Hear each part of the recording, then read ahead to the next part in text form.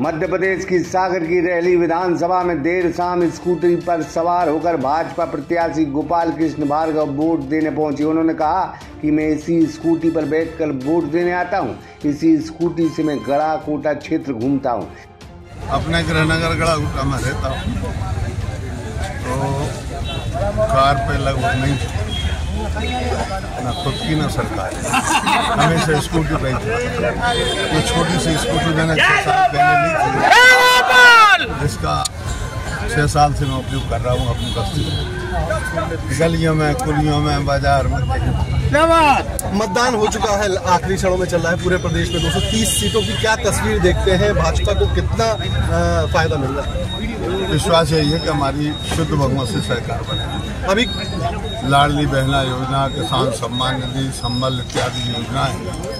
बहुत सी योजनाएँ ऐसी चलाई हैं जो गरीबों के जीवन में।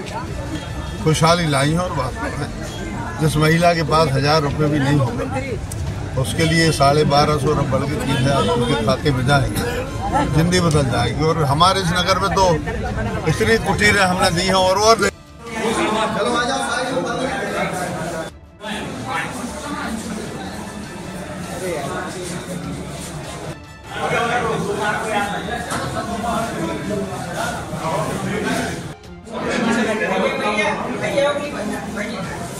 भाई, थोड़ा सा हो चैनल लेना है ना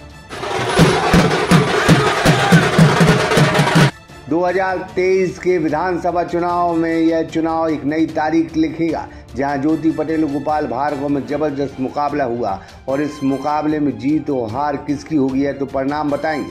लेकिन सबसे आखिरी में देर शाम को गोपाल भार्गव ने स्कूटी पर सवार होकर मतदान केंद्र पहुंचकर अपने मताधिकार का प्रयोग किया है। आँसू दुबे सागर एक्सप्रेस न्यूज़ रही।